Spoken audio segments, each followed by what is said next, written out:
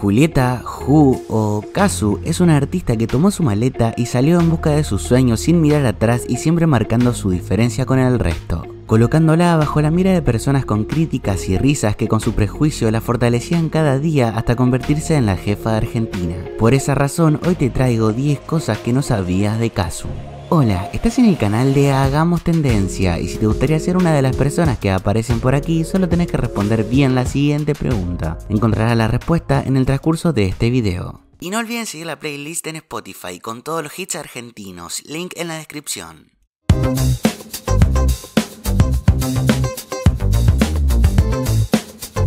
Un caluroso verano de 1993 en el norte de Argentina, más correctamente en la ciudad de Fraile Pintado, provincia de Jujuy, nacería una niña con un futuro hermoso y diferente al resto. Llamada Julieta Casuccelli, ha vivido en diferentes partes de Jujuy, pero el lugar que la marcó y lo recuerda como su sitio es la ciudad de Ledesma. Con sus padres separados, su hermana mayor y dos hermanastras por parte de su padre, ha sabido transitar su niñez con anécdotas increíbles y desarrollar un gigantesco talento en la música. Y gran parte fue gracias a su padre camionero y guitarrista quien cantaba junto a la actual DJ de la familia, su hermana mayor. Y de a poco Kazu seguiría sumando con ellos.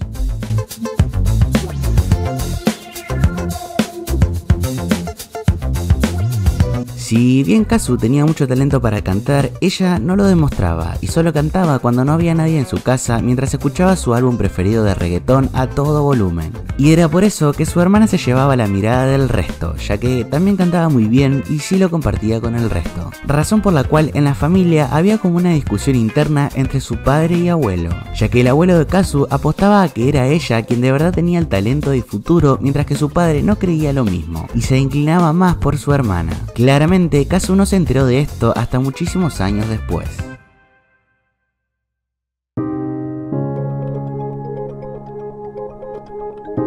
El reggaetón siempre fue su pasión e introducción a querer ser como los artistas que escuchaba, pero en aquel tiempo solo había dos maneras de escucharlos, comprando un disco pirata o la opción que ella aplicaba usualmente, ir al ciber y utilizar Ares para descargar todo el reggaetón posible y pasarlos a un CD, para luego llegar a su casa y escucharlos en un grabador que su padre le había regalado, y entonces comenzar a tomar notas sobre los artistas de cada canción y sobre la canción. Así fue conociendo a los artistas y también al reggaetón que le facilitaría su trabajo algunos años después después.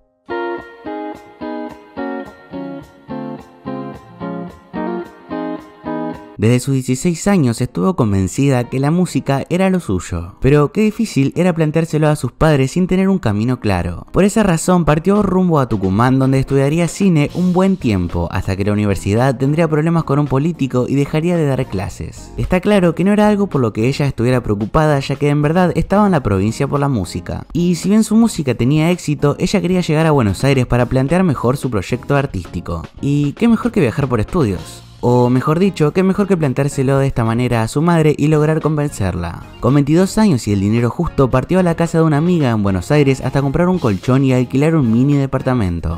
Allí se anotó en diseño mientras que su objetivo principal era trabajar en su nuevo proyecto como Kazu incursionando en el reggaetón. Claramente un secreto que le ocultaría a sus padres. Y entonces me mudo a un lugar donde realmente no conocía a nadie, donde realmente no, no sabía bien cómo iba a encarar tipo mi vida, pero me inscribo en, en una facultad de diseño, entonces estudié cine y estudié diseño y con eso yo tuve todas las herramientas para en el momento que el videoclip, eh, hacer un flyer, hacer un cover art, entonces me armo de herramientas como para poder hacerlo todo. Si yo ya sabía cómo iba a hacer música, tenía que saber cómo iba a ser de repente el resto.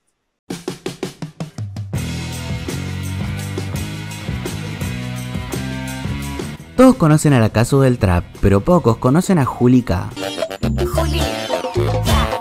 Nombre con el cual formó tres bandas de cumbia. Todo comenzó en Jujuy donde la invitaron a ser la vocalista de su primer banda llamada Sensación, en la cual componían cumbia norteña. Con el tiempo formó su segunda banda en Jujuy, pero esta vez de cumbia santafesina. Y al irse a Tucumán debió formar una nueva banda, con la cual logró cosas muy lindas y un gran reconocimiento en la movida. Esto fue hasta viajar a Buenos Aires y terminar con su etapa en la cumbia.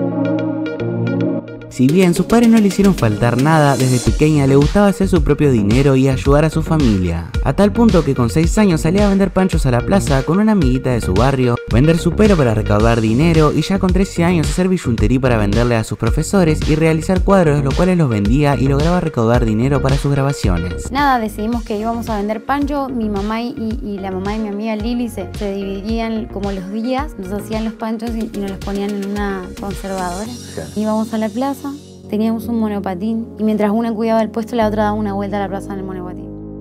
Ya de grande en Buenos Aires debía recaudar dinero para vivir, ir a la universidad y hacer su música de escondidas. Entonces consiguió trabajo como filmmaker y diseñadora para una banda de cumbia, con quienes tuvo la posibilidad de viajar a Europa, pero al regresar perdió el trabajo. Por suerte consiguió uno en una oficina y allí pudo estabilizarse más económicamente y comenzar a invertir en su álbum Maldades.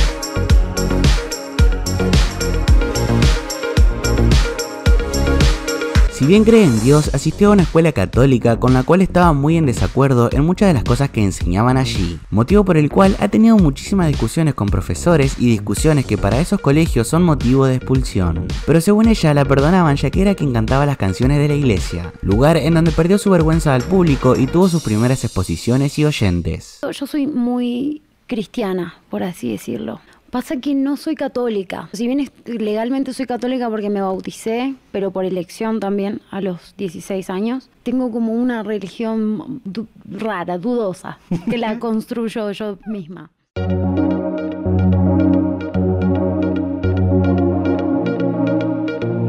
Desde su primera banda de cumbia hasta la última, siempre estuvo en desventaja por no pertenecer al monopolio que existía en aquel momento. Claramente hablando de este estilo musical. Pero todo empeoró con su última banda en Tucumán, ya que comenzaron a tener éxito y se convirtieron en una amenaza para otras bandas de cumbia. Por esa razón comenzaron a prohibirle shows, a tal punto que cansada de esto decidió abandonar la cumbia para siempre.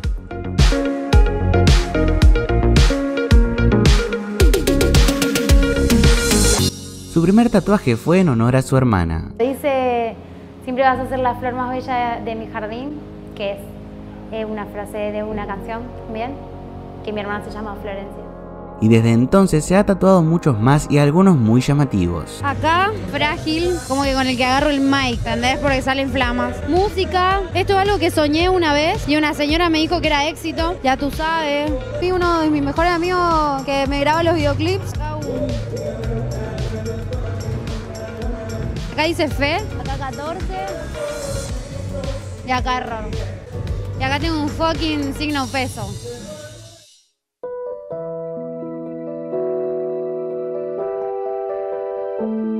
Si bien es algo de hace años, hay muchas personas que aún no lo saben. Según han contado, Caso y Bad Bunny se conocieron por primera vez en un show donde cantaron Loca, show en el cual se besaron frente a todo el público.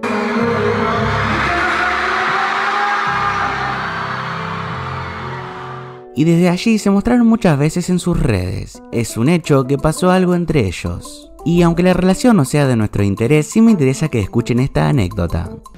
Fuimos a un parque una vez y como que de noche, bien, bien de noche, donde no había mucha gente, cerrado. O como un parque donde hay juegos para niños, céntrico en Buenos Aires o él dijo como, uy, no se puede entrar. Y yo le dije como, vamos a treparnos. Y nos trepamos y nos metimos al parque y después un guardia nos sacó, nos corrió. y tuvimos que correr. Eso fue una anécdota. Llegando hasta aquí, solo me queda decirte que te copes dejando tu like. Dale, si ya sé que el video te gustó. Y si te gustaría ser más cercano a esta hermosa comunidad, puedes unirte a mi grupo de WhatsApp con el link que estará en el comentario fijado. Ahora sí, esto es todo de mi parte. Esto es Hagamos Tendencia.